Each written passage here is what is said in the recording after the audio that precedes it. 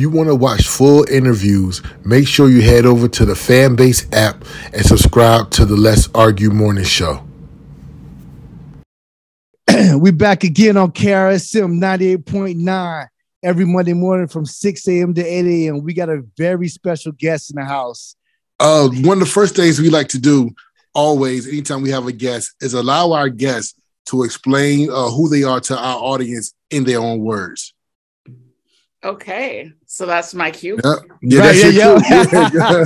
Yeah. So my name is Jennifer Sharp, and I am a filmmaker. Proud, like made movies. Check out my other movies. Uh, my first feature film was uh, "I'm Through with White Girls" in 2007. My last feature film I shot in Mexico. It's called Una Great Movie, and it was actually just released on Amazon Prime this year. There's like a few months ago. It's called Una Great Movie. Anyway, so that I'm and they're, they're fiction and they're comedy. They're fun. Um, so I that's me that's me as a filmmaker and i then recently just made anecdotals which is what we're talking about which is a documentary it's a departure from my comedic self it's also a um, risk i took because i'm i'm delving into the vaccine talk in my professional life which could really mess me up a little you know i mean I- like Yep. I have I'm a filmmaker and I had a lot of thoughts like am I going to get into this vaccine thing? Am I going to make this movie? Because I'm trying to get my other career off the line as a filmmaker that I've been doing for 20 years and um but I decided to to make a vaccine a movie about my vaccine injury. I was I was injured by the Pfizer vaccine and just started to get a glimpse into the world of the vaccine injury people and the glimpse into the world of everybody else who says vaccine injuries don't exist and all this push and pull about like and suddenly if i'm talking about vaccines i'm a republican and just all this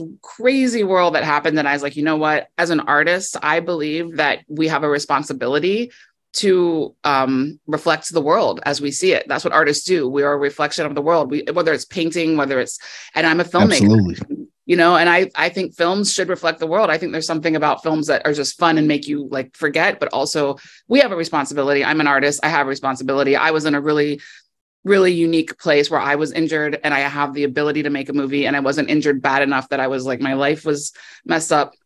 So i have now just taken the chance and made a movie about my vaccine injury covering other vaccine injuries and and it's called anecdotals and that's pretty much me. How's that amazing, amazing. Wow. Great. Okay, so okay, so so what was that moment? So okay, so so after your injury, what was what was the uh can you uh, can you actually speak on your injury and, and what was the moment where you was like, okay, I got to make a movie. I Okay. have to. Yes. So my injury really quickly, like, so I got the shot. I, that night, I woke up in the middle of the night. My bed was drenched in sweat. I was sweat, sweat, fever only on the left side of my body. The right side of my body was totally dry and totally cool. The left side was like hot. And I was like, that's weird. Woke up, couldn't feel the left side of my face. Um, chipped my tooth eating because I couldn't feel my gums. I had a Mm. headache only on the left side of my head. So I definitely had a fever on the left side of my body because if you touched it, I was burning up. And then the other side, the other side, I was cool. It was just in my left knee and my left ankle were swollen and it hurt to walk. And um, so there was a lot of things going on that were um that were weird only on the left side. It was very clear. I, you know, I I kind of blew it off. I was laughing. I mean, I'd call my family and be like, I can't feel my face. Like, is this like, I, you know, and I was supposed to meet a friend that weekend from high school. Um, we were Mm. going to meet. She lives in Sacramento. I live in LA. We were going to meet in the middle and have like a weekend at a hotel, like during COVID season. And I was supposed, and my shot was Thursday, and I was supposed to go Friday. I called her. I was like, uh, I can't feel my face. Um, I don't know. And she was just like, Oh my gosh. And I was like, I didn't. I was so my first thought was like, Do I go to this weekend with my friend? right. Um, I went. And we're old school, high school. You know how you, you are when you get back with your high school friends. Like Absolutely. a, lot, a lot of wine tasting involved. right, so- right. so it was a blur of a weekend, but the whole time we were joking a lot, like, and she wasn't getting vaccinated, like, um, right. and she was just like, "Well, you took the vac-. we actually had a we actually had a fight about the vaccine that weekend." Wow. She was like, "Well, it's not really a vaccine." And I'm Right. like, the thing is, we, her and I argue a lot, like, because she's really hard headed and uh, we're not hard headed. She's a strong woman and I'm a strong woman. Right. Clash a lot, and I like that. I like at least knowing what's what we're thinking. There's no question. There's no, and she was just kind of like, well, if people are still getting COVID, or and this was March of 2020, so people weren't getting COVID, but she had a few skepticisms, and I was just like, this is her typical self being just trying to be like a naysayer, and I wasn't having it. So we actually argued about that. We had a fight about the vaccine. Wow. And I'm having it. And I didn't believe in the vaccine. I wasn't pro vaccine. Like, I wasn't like, this is the answer. But I was just like, stop being so skeptical because you don't know what you're talking about either. right, right. That's all I was saying. Like, I'm like, I don't know, but you don't know either. So don't act like you know. Anyway, I had a really good weekend with her. Came back. Basically, it's a year now. Let's fast forward to now. It's two years later almost, and I still have tingling. Like I'll be, I'll be suddenly I'll get like a sharp pain in my hand, like someone's stabbing me with a needle. That happens a lot, like in my face and my hand. It's usually still left side, occasionally right. Um, it's not that bad. I get tin- I get tinnitus, tinnitus sometimes, but it lasts like 30 seconds. Like my stuff is like, I'm I think I'm like 90 to 95 percent back to normal. So right. that moment to now it's been like a slow recovery um but i still my i wake up in the morning and my left leg is numb it takes about an hour or half an hour for it to be like totally awake um and then i'm fine and just random itching my hand itches like just weird neurological stuff Right. I'm lucky um but who knows maybe i'm going to develop multiple sclerosis in 3 years or who knows i'm going to you know parkinson's or like there's definitely neurological stuff happening not crazy so to answer the second part of your question I everybody was telling me to make a movie from the beginning. They were like, "You should make a movie. You're a filmmaker," and I was like, "No, no, no." I just did Right. Movie. Like I did Una Great movie, and I'm still like recovering from that. It was six years. I shot it in Mexico, and I want to make money from that. And they're like, no, no, no. But eventually, enough people told me I met this guy. He's actually the executive producer on the film. His name is Josh, and I met him in Brooklyn at an anti-mandate. It's a whole nother thing. I won't even go there, but I happened to meet him and he found out my story and he was like, You're a filmmaker. Are you not making a movie about this? And I was just like, I just and he was like, Hey, I want to help you any way you can. If you decide to make a movie, I'm down because I think this is really wrong what's happening. Because we were about the mandates. Eh, because it was about mandates. So I was mandated out of society. Like I live in Los Angeles and I work in New York City. wow. I I was in the two places Yeah. not allowed.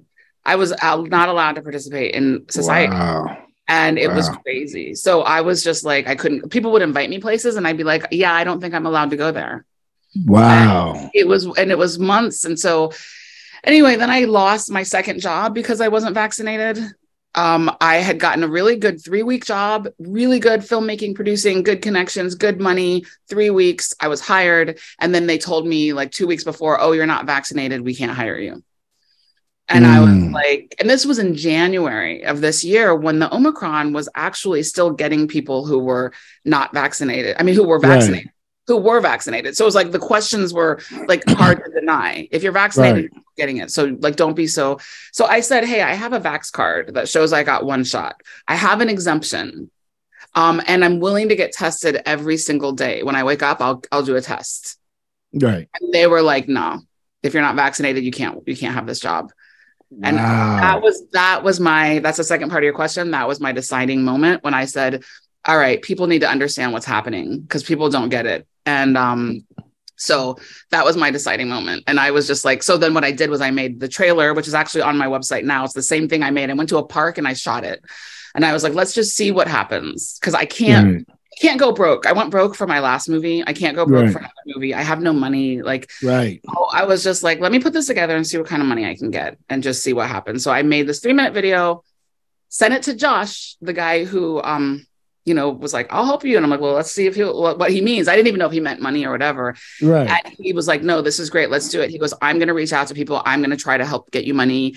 He initially put down a, a small amount, a, a decent amount to, you know, start whatever. It's like none, nothing has been, um, I basically made the whole movie for under a hundred thousand. Like, so as far as like wow. documentaries go, like at the end. But like I started with way less than that and was like, I'll just do what I can for the little money I get. And then he helped me get a little more money so we could do some interviews. And that was and so once he was on, I was like, all right, if you're on to help me and you I got this little bit, let's let's do it.